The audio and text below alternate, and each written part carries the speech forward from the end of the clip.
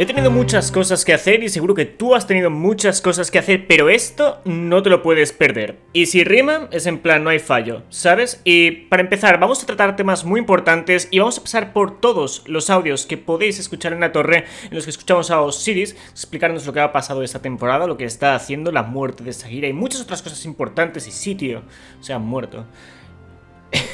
Eh, luego, ah, también regresa la reina. Shibuaraz y Sabazun están picadas. Y otros temas muy importantes que no os voy a spoilear ahora exactamente, ¿vale? Vamos a pasar por todos los audios, os voy a dejar escucharlos y luego pasaremos por un resumen de lo más importante, incluyendo también eh, las piezas que está moviendo la hija de, de Calus, Kaitel, ¿vale? Así que dejad que os explique, ponedos cómodos y a disfrutar, joder, sí. Por cierto, antes súper brevemente pasamos por el patrocinador del canal, gracias por apoyarlo, en serio. Y continuamos con el vídeo.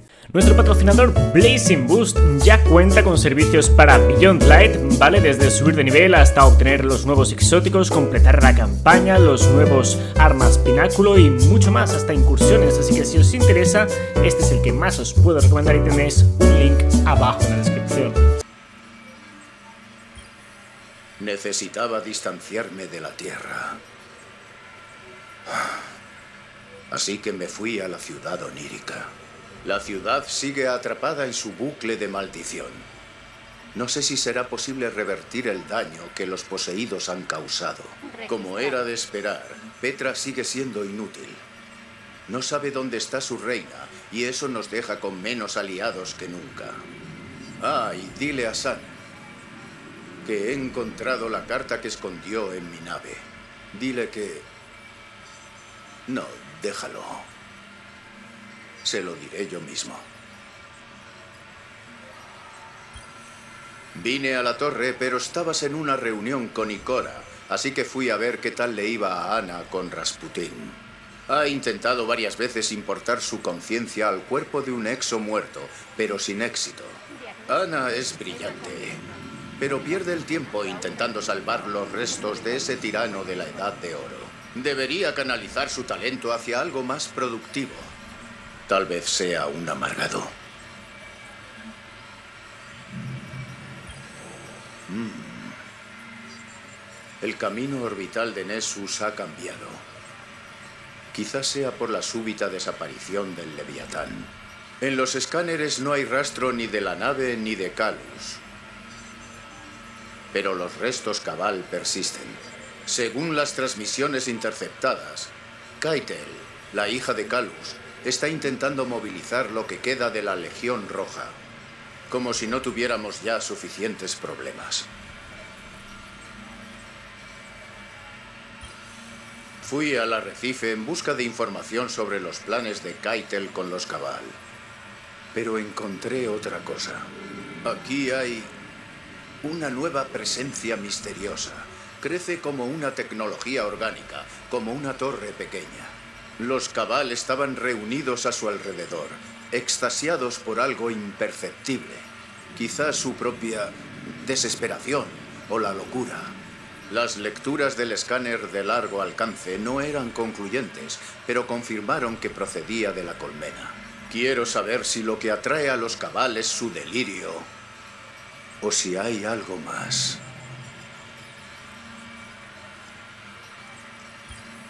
Cada día hay nuevos horrores. Me quedé en el arrecife para observar a esos cabal extasiados por la colmena. No descansaban. Pasaban horas arrodillados ante la estructura. A veces gritaban, otras veces lloraban, pero normalmente se limitaban a estar en silencio. Se fueron una mañana, vagando por los confines de la costa. Decidí examinar la estructura de cerca y bueno, Estoy seguro de haber oído algo. Algo que me llamaba. Me hacía señas. Sagira me convenció para abandonar la investigación por el momento. Está oscuro. A veces se me olvida lo solitario que es el espacio profundo. Voy de camino a la Tierra, pero tardaré al menos un día más. Me pregunto cómo le va a San sin mí. Me preocupa. ¿Cómo se estará adaptando? ¿Cuánto se culpa a sí mismo por todo esto? Tiene un gran corazón. Quizás si no hubiéramos interferido en la historia, nada de esto habría pasado.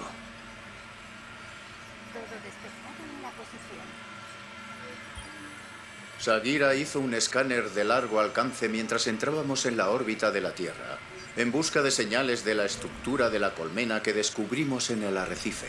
Habrá sido intuición. Hay más en la Luna.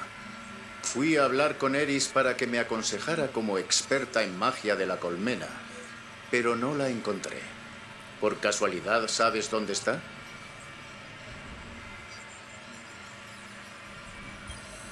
Acabo de tener una conversación muy interesante con nuestro amigo Araña, en el arrecife. Ya sabía de esas estructuras de la colmena y ha encontrado otras en la costa enredada que mi escáner no había detectado. Dice que algunos de sus agentes han desaparecido y se rumorea que también han desaparecido algunos caídos sin casa. Sagira pinchó las comunicaciones de los Cabal. Los exploradores de Keitel hablaban de inquietantes descubrimientos entre la Legión Roja abandonada en el sistema. Campamentos enteros abandonados, muestras de conflictos internos, fosas comunes. No sé qué pasa con estas torres de la colmena, pero necesitamos respuestas. Voy a ir a Saturno. Tal vez haya forma de encontrarlo en la nave abandonada del acorazado de Oryx.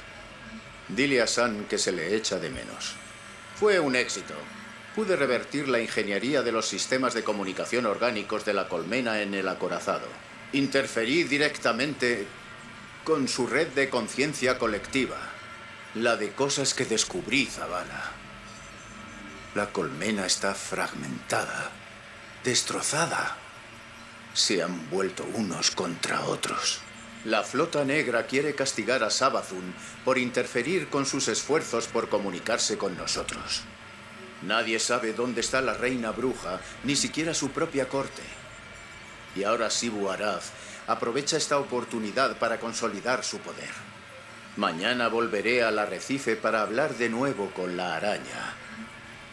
Dice que tiene noticias para mí. Por desagradable que sea la araña, su red de información es amplia y está muy bien documentada. Según su gente, las estructuras de la colmena son criptolitos. Se extienden como raíces de un árbol y perforan nuestra dimensión. Se desconoce su origen. La araña afirma tener a su mejor hombre investigando, pero Sagira y yo tenemos nuestras sospechas. Zavala, voy hacia la luna en busca de más información sobre los criptolitos. Sagira y yo iremos a investigar.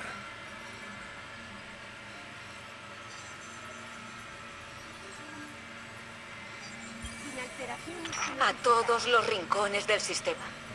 He vaciado las armerías de la periferia. Flotas de guerra de corsarios enviadas. Heraldos desplegados. Pero la flota negra persiste. Sé lo que te ha arrebatado, Petra. He estado fuera mucho tiempo y lo lamento. Tu compasión y tu liderazgo han sido de gran ayuda para mí y para nuestra gente. Todo esto empezó con la ciudad onírica.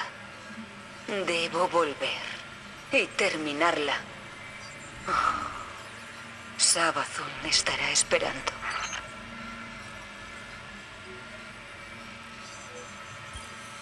Si alguien nos escucha, yo... Sagira está... Se sacrificó para salvarme. De ellos. De la colmena. Ando tras los pasos de la criatura responsable de la muerte de Sagira. La encontraré y la destruiré. Zavala, necesito que envíes a la cría de lobo a estas coordenadas. No esperaré.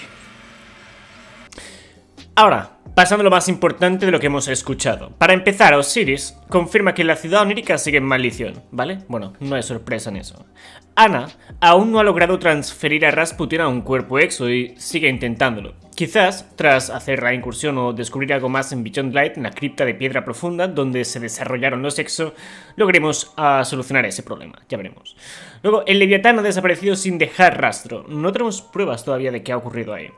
Kate-El, la hija de Calus, está empezando a movilizar las tropas de la Legión Roja, y ese es un dato importante. Keitel fue quien desterró a Calus y lo encerró en el Leviatán con un rumbo preprogramado por el universo, ¿vale? Imposible de revertir. Básicamente lo mandó a la mierda, ¿sabes? Y se quedó con el Imperio, y es en plan, ¿y ahora qué? ¿Qué hace aquí? ¿Sabes? Seguimos sin saberlo exactamente, pero está empezando a mover ficha. Luego, como habréis notado, Shiborath ha comenzado a corromper a los Cabal y a Elixni para formar un ejército aprovechando la ausencia de su hermana Sabazun, que desapareció y ahora ni sus seguidores saben dónde está. Su hermana, Shiborath, está aprovechándose de la situación y se prepara para la guerra. Luego, la colmena, queda claro, está dividida entre Sabazun, Shiboraz y los que no tienen ni idea de qué hacer con su vida. Se han vuelto unos contra otros y la que sigue a Sabazun, es decir, la parte de la colmena que sigue a Sabazun, no sabe ni siquiera dónde se encuentra Sabazun. Shiboraz está recogiendo todo ese poder que Sabazun ha dejado atrás y a todas aquellas vidas inválidas sin liderazgo como los Elixni y los Cabal. Osiris, tras descubrir los criptolitos y la influencia de Shivarath, fue a la luna a investigar esos criptolitos. Ahí se topó con el alto celebrante que lo capturó, y cuando estaba a punto de acabar con Osiris, Sagira, su espectro, sacrificó hasta su último brillo de luz para despejar la sala de la presencia de la colmena y salvar a Osiris. Ahora Osiris vaga sin espectro y en peligro, tratando de adelantarse a los pasos de nuestras mayores amenazas.